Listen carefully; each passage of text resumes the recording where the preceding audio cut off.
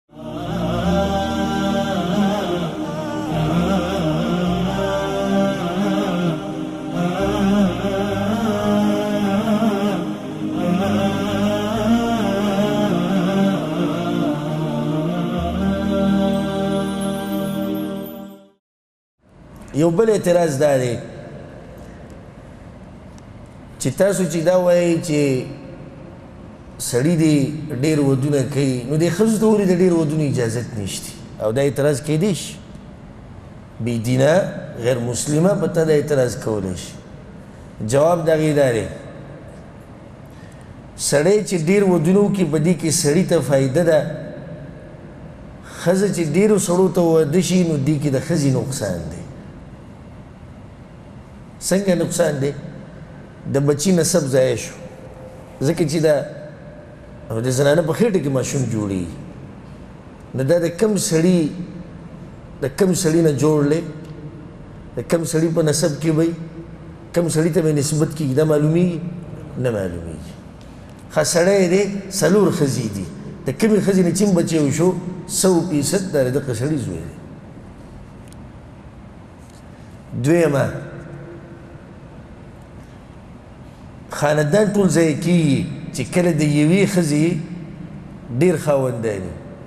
خاندان څنګه ځای کیږي بیا د ماشوم تربیت په څوک کوي خو دې کور خرچه به کم یو کوي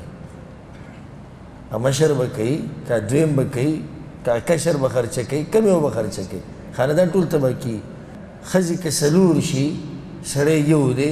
بچی دا غدي تربیت هغه کوي کور دا غدي خرچه به هغه چلی هیڅ مشکل نه جوړي نو ځکه خزو ته ډیر ودونو اجازت هغه نشته اخرنی مسله دلته هغه بیان وکړو په دې کې څه حکمت دی چې الله موږ له اجازت را کړی دی چې تاسو ای سړو که طاقت می او عدلی کولی شئ نو ډیر ودونه وکړي اولنې سبب ډیر ودونه کول د امت ته ډیرېدو سبب دی او دا خو هر عاقل مني چي کوم امت کې چې سړي ډيري خلک پکې ډيري دا امت څه دی زورور دی لکه اوس د چاینا ملک ته چاینا پته چې دا په اعتبار د کسانو اول نمبر دی که دویم دی اول دی نه مساحه مساحه نه دغه کې کم خلک اوسېږي آبادي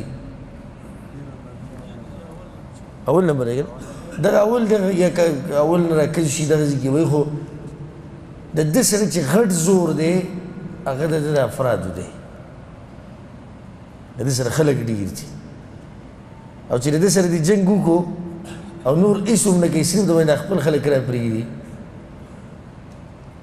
هغه هسې هم ټول هغه چیت چیتي او هغه هر شی خوري چې څه یې مخې ته راځي څه ګن بلایي به یې خوري چې دا د باندې راپرېږدي هېڅ ته یې ضرورت نه شي نه ټینک ته نه مزایل ته خلک ورسره ډېر دي هر امت چې د هغې افراد ډېري د دلیل دی د امت د طاقت او رسول صلی الله علیه وسلم څه وایي تزوجوا الودود وزوده تزوجو الودود الولوده او بعضو کې دغه شان الفاظ دي دې چې ښځې سره واده وکړي چې مینه نه کوي او بچي ډېر راوړي ځکه چې زما عمر ډېر شي دویمه وجه او دویم حکمت هر سړی دا مني او اخري چې کوم احصائیات دي کوم حساب چې شوی دی نو په هغې کې دا واضح ده چې په هر ملک کې د ښځو عدد د سړو نه زیات دی ښځي ډيري دي نو که هر سړی دوه درې څلور ښځي وکړي نو معاشره کي به ښځي په کورونو کي پاتي نه شي څومره غټه فايده وشو دريمه سړی همیشه حوادثو ته مخامخ کیږی حادثاتو ته ژوند دهغه ګران ژوند دی سخت کار هغه کوي بلاکونه اوچتوي دیوالونه وهي ګټې ماتوي په دې کې دی هم مړ کیدای شي او ډیر پکې داسې شوي دي خصوصا دې مسافرو په دې ملکونو کې. چی جنګ کیږی څوک پکی ولاړی سړی پکی ولاړی په جنگونو کې په ارزي کې سړی ولاړی نو په سړو کې په سړو کې د مرګ د احتمال ډیر دی په نسبت ته چا کې په خزو کې نو چې سړی ډیر مري نو خزي ډیر پاتې شوي نو چې ډیر پاتې شي نو په کار دی چې سړی وسره ودونه ډیرو کې دوه درې سرو نه عادت به برابر شي او سبحان الله دا ناشنا خبره ګوره سړی اسې هم ډېر مري خیر هم دی چې خبر راځي پلانې یې مړله خو دا ډېر کم خبر راځي چې پلانې یې مړه ده د سړو د مرګ خبر ډېر راځي او د ښځو د مرګ خبر هغه ډېر نه راځي نو ښځې ډېرې دي څلورم حکمت دا دی په سړو کې بعض سړي داسې چې د هغوی شهوت زوروري او یوه ښځه د هغه شهوت نه شي پوره کولی، نو که چېرته پرې موږ دا دروازه بنده کړو چې ته دویم، درېیم، څلورم واده نه شي کولی، بیا به دی حرامه لار لټوي. پنځمه دا چې دا خبره صرف په دې شریعت کې خو نه ده، بلکې دا په مخکینو شریعتونو کې هم وه. شپږمه مسئله هغه دا ده، کله ناکله داسې وي چې ښځه بچي نه شي راوړی، یا کله نا کله داسې چې ښځه بیماره وي د خاوند شهوت هغه نه شي پوره کولی خاوند غواړي او چې موږ پابندي ولګو دی به حرامه لار لټوي لکن ښه نه چې دویم دریم څلور هم واده وکړي اوومه خبره کله نا کله داسې چې ستا په خپلوانو کې یو ښځه او د هغې خاوند مړ شي او ښځه څه پاتې شوه کونډه په تکې خبرې د ستا د تره لور ده، ماما لور ده او پلانۍ ده، غریبه دقه شان پاتې شوه، بچی ترې پاتې شو، نو دی دا کوشش کوي چې راشه اوس دا که زه واده کړم نو کور به هم اباد شي، د ګناهونو نه به هم بچ شي، خرچه به پرې هم کوم، نو دا ورله غوره نه ده؟ غوره ده که نه ده؟ غوره ده. اتمه خبره. او دا به اخرنی ذکر کو په کار دره چې د سړی رابطه تعلقات هغه زیات شي او د تعلقات د زیاتولو یو طریقه دا ده چې ته په ډیرو خاندانونو جدا جدا نسبونو کې او جدا جدا قومونو کې او په جدا جدا علاقو کې ته ودونه وکړي. نو ته د یو ملک کې د یو علاقې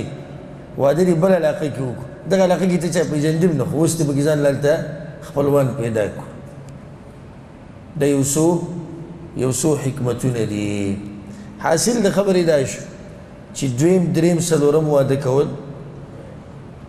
جایز دي په شرط څه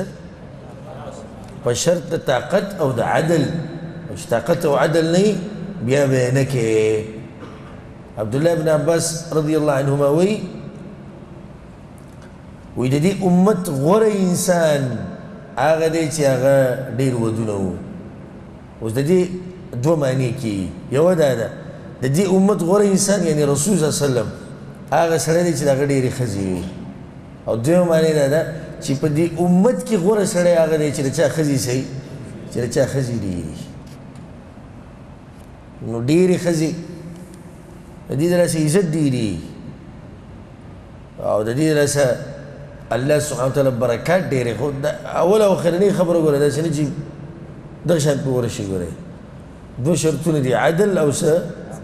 او طاقت او زموږ پښتانه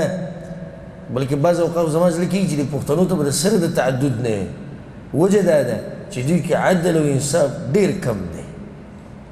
دغه یوې سره یې نشي کولی دوه درې څلورو سره به څه وکړي او کومو چې پکې دویمه ښځه کړې هم ده ویې ګورئ خوا او شا کې نظر وچلوئ ستاسو په دې خپلوانو کې او ستاسو په دې کلیوالو کې یو به د ده سره یو غریب به چې د بل ځای کې ناست دی یا به د مشرې سره ظلم کوي یا به د کشرې سره ظلم کوي دا خبره صحیح ده که غلطه اکثر به ته دغه شان ښکاري یا به د مشرې سره ظلم یا کشرې او لږ به راته میلاو شي چې هغوی څه کوي عدل او انصاف کوي نو که کوي وی کوي خو په شرط څه د عدل او د انصاف الله سبحانه تعالی موږ له توفیق راکړي د عدل او د انصاف دې دعا کې د نار سره راځي چې توفیق د عدل او د انصاف د ته میلاو شي نو مخکې بیا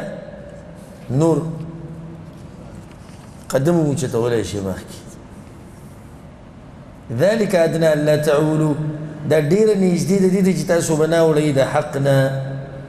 یعنی که تاسو عدل او انصاف وکړو یا ته په ځان ویری چې عدل او انصاف نشم کولای او یو خزه دی وساتله یا دی یو وینځه وساتله الله وی دا د لخه ده دا د لخه ده د دین چې په دغه ګناه کې واقع کیږي هغه نه خده کړي ډیر ودونه خو دی وکړو خوشاله خزي په کور کې ډیر دي شهوت پوره کی اخرت کې ذمہ وار شو دي دوی حساب کتاب به غټي خبري به نو د دین یو نه وخه یو تی خو وآتوا النساء صدقاتهن نحلا او ورکوئ ښځو ته مهرونه د هغوی په خوشحالۍ سره. د جاهلیت په دور کې دا رواج و چې مهر به یا نه ورکوو یا چې به یې ورکوو نو کوم چې به یې مقرر کړی و هغه به یې ورله نه ورکوو. او دا ظلمونه به روان وو الله وایي چې نه نه ورکوئ به ښځو ته مهرونه د هغوی په خوشحالۍ سره به ورکوئ په نکاح کې مهر څه دی لازم دی په نکاح کې مهر لازم دی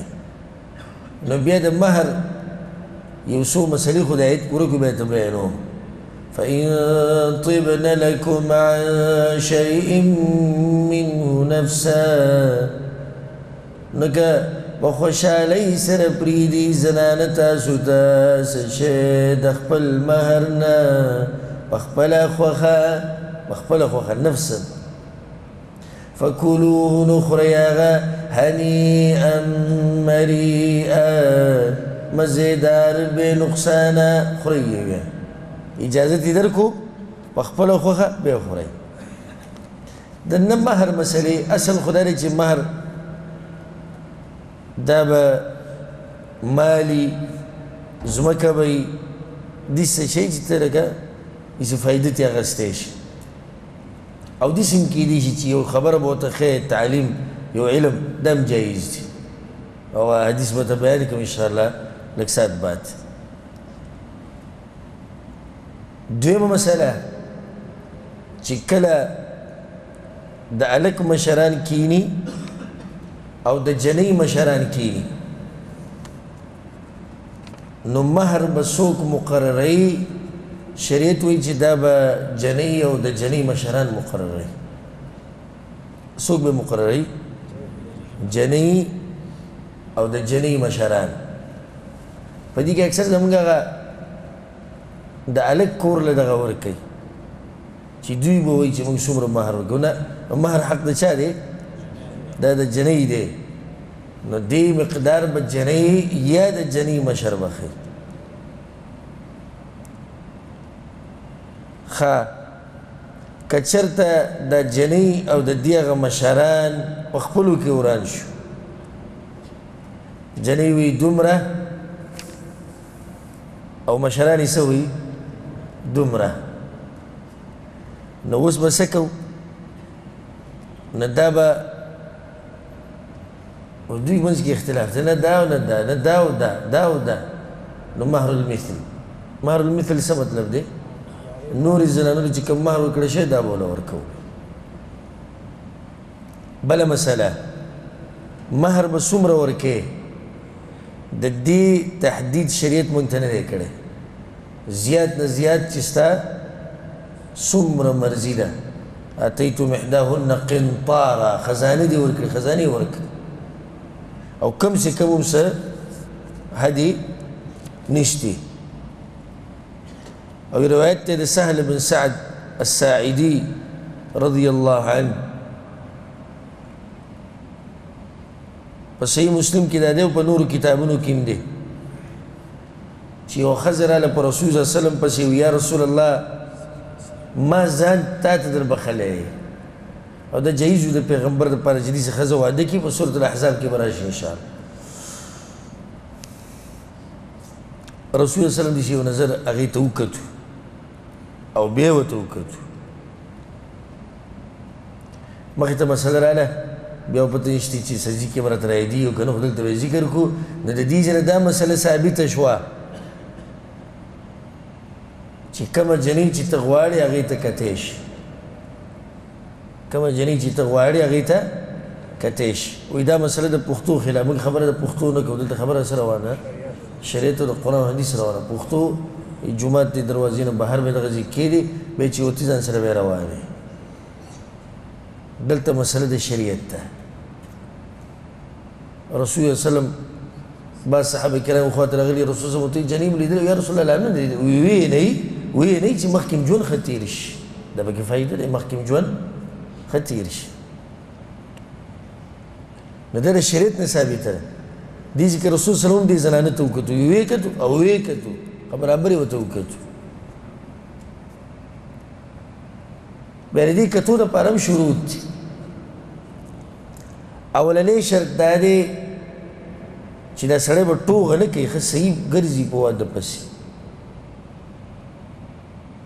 تا ته پته ولګي د پلانې راغې ستا خور غواړي یا لور غواړي تا ته اندازه لګي چې دې رښتیا وي او که دې دروغ وي هسې کم شم خو نه لګي دویمه چې ستا غالب ګماني چې د جنۍ دله درکوي هله دریمه که جنۍ دې ولیده او خوښه نه شوه نو خبره وه ختمه شوه خبره او څه وه ختمه شوه نو به بې غیرته سړی چې دا خبرې به بهر کوي او خلکو ته به نه نه خو رسول الله صلی دا خبره کړې دی وی جنې له پکار دی چې الک له پکار دی چې جنې وګوري خاطب له پکار چې مخطوبه وګوري خو دا مسله خو نه دی ویلې چې مخطوبې له پکار چې خاطب وګوري ولې نه دی ویلې ها هغه لیدې شي په هر ځای کې هغه لیدې شي په هر ځای کې نو مسلې بینول ته ضرورت نشته بل مسله هغه زینه کته شي چې کم غالبا د زنه نخ کاری لکه مخ ویخته لاسونه خپې کپړې مړی دا کته شي خبره نه بعضو په تصویر به اکتفا وکړو که نه نه په تصویر کې او په اصل کې څه دی فرق دی تصویر کې خو نن سبا د کمپیوټر راوتي قسمه قسم کارونه پکې کېږي والله داسې بدرنګه انسان به دله دومره ښکلی کړي چې ته به ورته حیران شي چې ته ورسره واده وکړې د واده په شپه ورشي هغه نه یي هغه کومه چې ستا خوښه نو ځکه په تصویر کې دوکه کیږي باز دي سي کوي چې ویل جنې خو مطلب دی چې جنې به تیره شي مخې ته دا به کمزورې خبره تیرېدو کې نه هغه دایني نه دایني دومره وخت په کار چې یو بل ویني او بل شرط پکې دا دی چې خوا کې به د جنې مشران ناس به کې ناس به نه ناس به جنی مشران بناسي ځکه چې یوازې کېده خو نه دی روا که نه بل دا باز دا وایي چې زه تاسو زه تاسو د نور قومونو والا نه وي هغه پکې داسې وایي زمونږ د کوم اوس پیدا شوي دي دا کوم چې داسې بهر ملکونو کې عادت شوي دي یا د دې ډرامو او فلمونو سره زه صحیح ده زه بچی لاړ شي یو چکر ولګو یو ورځ هوټل کې تیر کې دغه یو بل ښه وپېژني دا نشتی لیده غواړي جنې وی ګوره هغې سره هغې مشر ناست یو نظري وګوره خوښه دې شو صحیح ده خوښه نه شو صحیح ده دلته دا مسله مخې ته راغله ځکه مې ذکر کړه وی رسول الله سلم هغه زنانه ته وکت بیا ورته رسول الله سلم وی چې ځنی شم سری کته کو ټیټ کو وی ځنی شم یو صحابي پاسې یا رسول الله کستاو ته ضرورت نه نو ما ته وعده ک رسول مو دې سره سره شتي یا رسول الله یې سم نشتي بیا ته رسول سمو چې سید لاړ شه کال ته کور کې سومو مې دلته وسره سنشتي کور ته لاړ راغی پر رسول سلم پسی وی یا رسول الله کور کی مسه نشتی رسول سلم تی کور کی دا وسپنی گوتی نو وی نه دا وسپنی گوتی نو بیا لا بیا راغی لک ساعت بعد نو خپل سادری راغسته وی یا رسول الله دغه دینه رسول صلی الله علیه وسلم وته په دې سو کو یا رسول الله نیم د دې شو کنه نیم به مہر ورکم او نیم به زما شي رسول صلی الله علیه وسلم ناشنا انساني نو چې دې له ورکو نو ته فائدې نشي غستو چې تا وغه په نیم باندې څه کار کیږي په نیم ساتر بدلاسو کې او په نیم به تسو کې بیا غلی و، سوچ کې لاړ چې اوس څه وکړي؟ نو رسول صلی الله علیه وسلم خو هغه انسان و چې ملګرو ته به یې خبره هسې اسانوله. رسول صلی الله علیه وسلم ورته داسې کتو ویې یې، ماذا معک من القرآن؟ قرآن خو ته نه دی یاد؟ ویې ویل، یا رسول الله پلانې په سورت او پلانې سورت او پلانې راته یاد دي. وایي ځه صحیح دی دغه پلانې سورت او پلانې سورت او پلانې سورت د دې مهر شو تاته موږ واده کړ. دې زما دا مسله ثابتوله چې کم سه کم مهر زیات نه زیات مهر د شریعت نه مقرر کړي او حدیث کې درځي رسول الله صلی الله علیه وسلم امام ابن حبان رحم الله راوړي نور کتابونو کې هم دي روایت شتي چې په زنانو کې غوره او برکت ولا زنانه هغه چې دغه مہر کوي د کمی زنانه چې مہر ډيري غالبا دا زنانه به برکت وي یعنی تاسو معلوماتو کوي او بیا خصوصا هغه مشرانی زنانه په وخت کې مهر به بالکل لګو نو د دې ښځې که برکت الله ډېر اچولی نصیحت زمونږ هغه مور پلار ته چې هغوی د جنۍ دپاره دومره مهر وایي چې د چا پې وس نه راځي نو غریبه په کور کې پاتې شي یو ګناه خو نه دی دغه مور پلار ګناه خو یو دا شو چې خپل لور وته په کور کې ناسته نو یو په دې کې دي چې د امت ځوانان دغه شان پاتې شو کوم چې غریبانه په زنا کې اخته شو په ګناونو کې اخته شو د دې مور پلار د لاسه چې د لور د پر دومره مہر خي چې دغه په وس نه رسي مہر معقول مہر کې دی چی چاته تکلیف نه جوړیږی چی تا ته پته ولګی چی دا سړی غریب ده غریب ده بس بس هسی مهر کی ده چی الله شریعت ته خبره برابر شي ها نکاح خو د دواړه طرف نه کیږي کنه الک هم نکاح کوي جنې هم نکاح کوي کنه ولې جنې د پاره مهر او د الک د پاره مهر نه ولې جنې په دې نه اخلي دا خو صحیح شو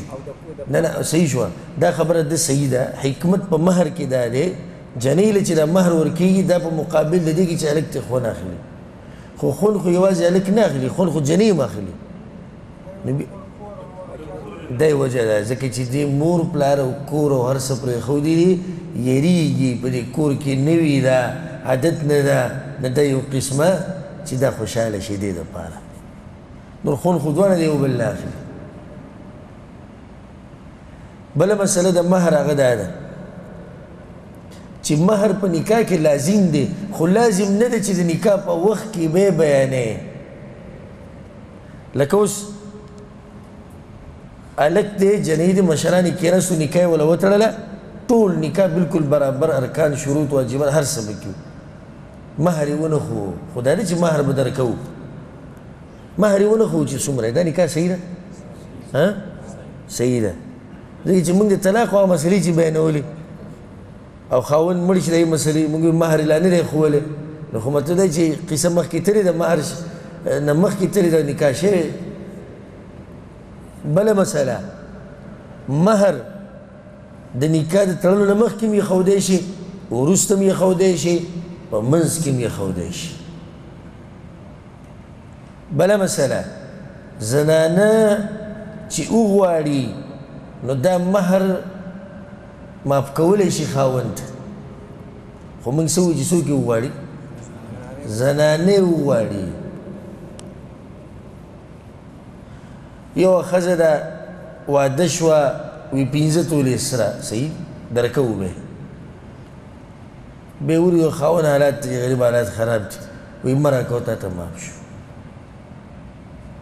نو دته څه شو معاف شو الله یې خورې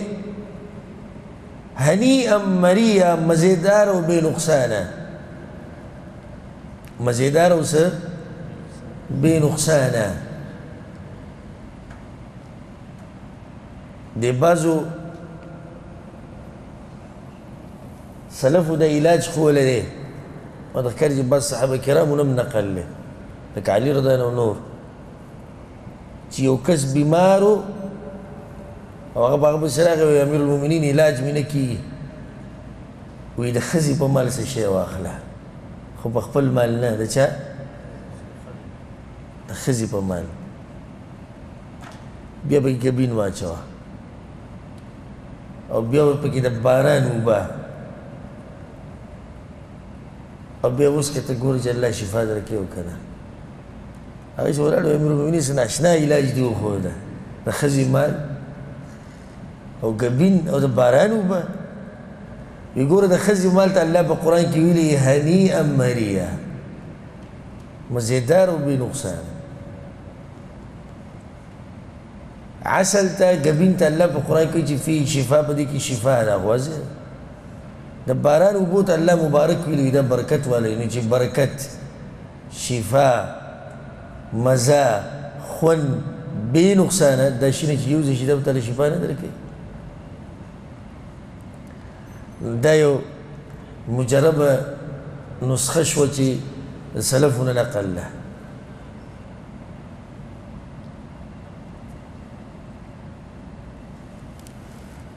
موږ دلته مسله دا بیانوله چې ښځه خاوند ته مهر معاف کړي. خو په خپله مرضی دا نه چې ته مجبوره کې بیا بدن الله تپوس کې صحیح دا هغه به ووي هغه به ووي خو حق سره پاتې شو دا یو نیم واده نه به چې ښځه یې داسې ځي اما طاقت مې نشته ده پرېږدې خو یې نه چې داسې ځي پرېږدې خو یې نه هغه مهر داسې راځي بس پلاني ته مې وویل قرض به راکړي ستا هغه مهر به درکړم او داسې هغه دې وپېچي که معاف دی تا ته نو زمونږ پرېږده دا مجبوره کول دي نه په دې طریقه نه خبله مسله به ذکر کو اخرنۍ په مهر په مسلو کې چې یوه ښځه ده مهر یې معاف کو او بیا یې غواړي وی معاف دی چي مهر ماپ ته يو په دقه شپه باندې خاوند وغربوله وی والا وی نه دی ماپ مهر راکه زماره نو سبا کی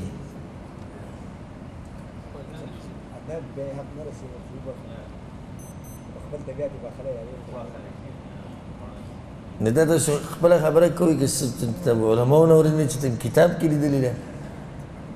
ها ها ها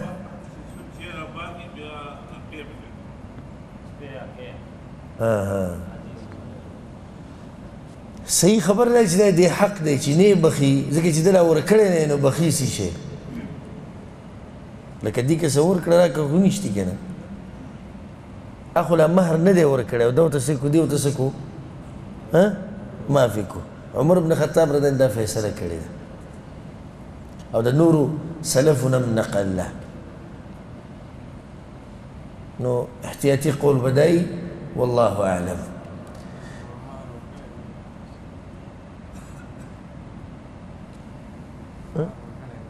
یو حل یو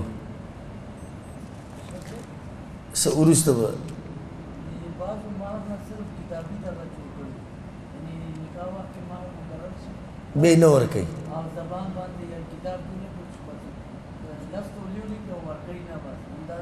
دا په پاتې شو د ښکلي تنبیه ده چې د بعضو کسانو د مهر نه ګپ جوړ کړی او هغه دي سي چې ولیکه هغه څو ولیکو ولیکه ولیکه څومره دي خوښي ولیکه اسې خو یې ورکوو نو شل تولي ولیکي او دېرش ولیکي او لس به یې نه ورکوي د قیامت په ورځ به دنه د الله سبحانه وتعالی اخلي قیامت پر ورځ به دنه الله اخلي اوس تا خپله مرضي ده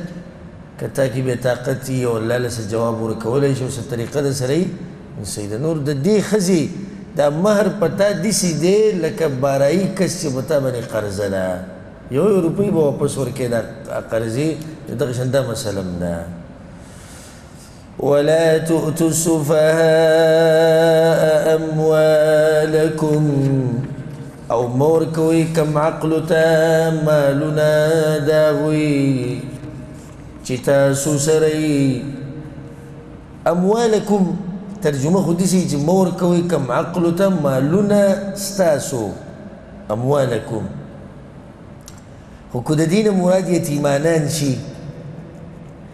نو مطلب دا شو چې مه ورکوئ یتیمانانو ته مالونه د هغوی چې تاسو سره دي او دا څوک دي چې الله دلته ذکر کړي دي نو مفسرینو ډېرې خبرې دلته کړي یو دا چې سفها کم عقل نه مراد یتیمانان دي یتیمانان له مال مه ورکوئ څه به یې کړي ضایع به یې کړي مه ورکوئ دویم وایي چې د دې نه مراد زنانه او ماشومانان دوی له مور کوي مالونه بیا ورپسې ګرځي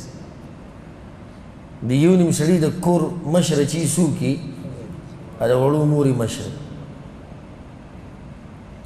نو دی چې څه خرچه مرچه رالي نوم هغې ته ووایي ته راکړه دومره لکه هغې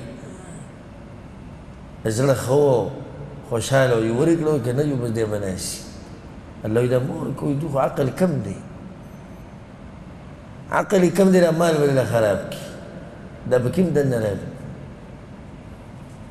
التي جعل الله لكم قياما هغه چې ګرځولې دی الله ستاسو لپاره د ژوند سبب مال د ژوند سبب دی که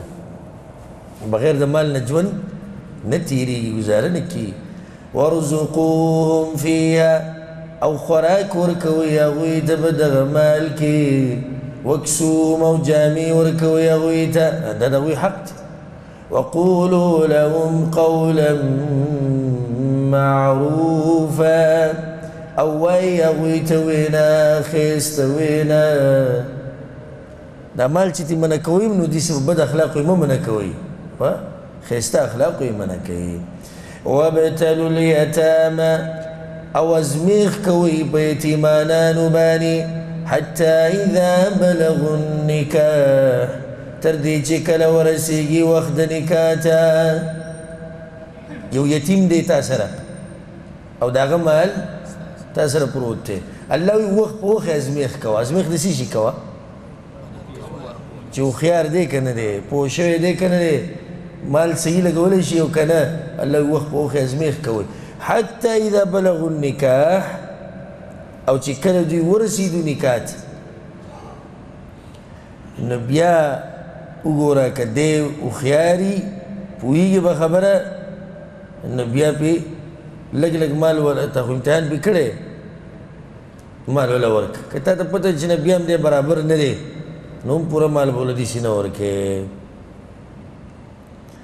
د بلوغ نه بعد کم دی هوښیار نه وي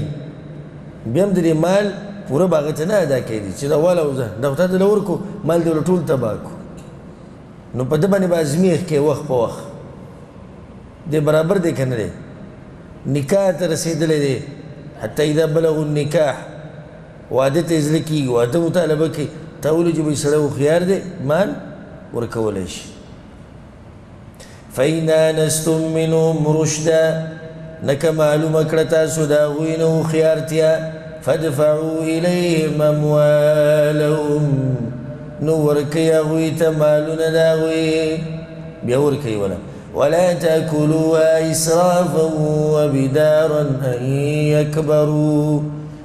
او مه خورئ هغه په داسې حال کې چې تاسو اسراف کوونکي یئ او تعدي کوونکي یئ یریږئ د دې نه چې دوی به لوی شي الله یې مالونه مه خورئ وایي اوس یتیم دی وایي دا مال وله زر زر ولګوه سبا له به څه شي لوی به شي بیا به تپوس کوي الله وایي دا ظلم چېرته ونه کوي ور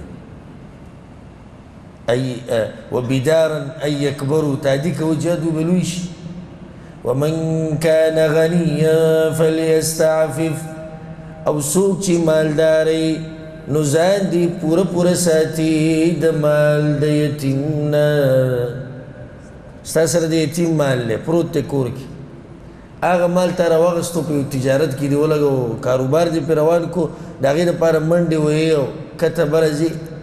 او ته په خپل هم مالدار یی الله وایی چی مالدار یی د ده دری مال نه ځان له هیڅ هم مه اخله هسی هم مالدار یی کنه نو چی مالدار یی د یتیم د مال نه به ته څه راوالی ځان له څه منډه به ته د هغی نه واخلی. هسې مالدار یې نو غوره ده چې فلیستعفف ومن کان فقیرا او څوک چې غریبي فلیاکل بالمعروف نو خوري د دغه مال نه په خيسته طریقې سره خيسته طریقې نه شریعت مطابق طریقه ځان له خپل یې سواله مناسبي سره چې دا زماغه منډه ده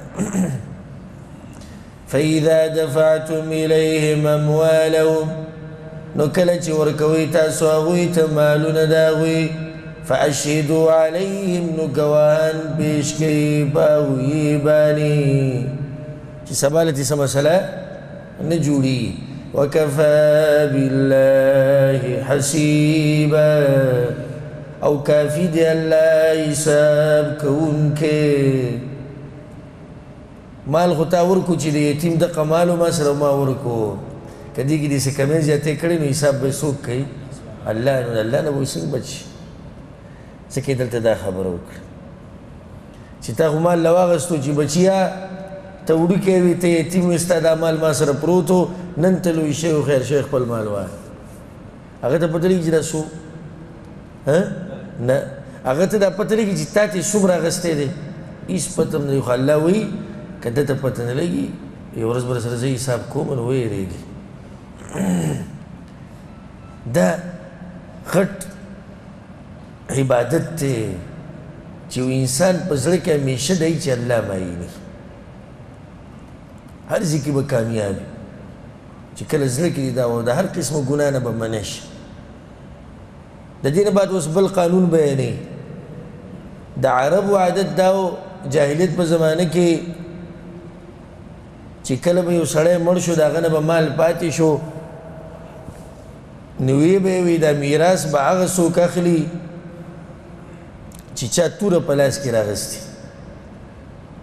توره چا په لاس کې راغستي میراث به د چا وي دا به د هغه وي نو ښځې او ماشومانانو ته به میراث نه میلاوېدو ځکه چې هغوی خو توره نه راغستې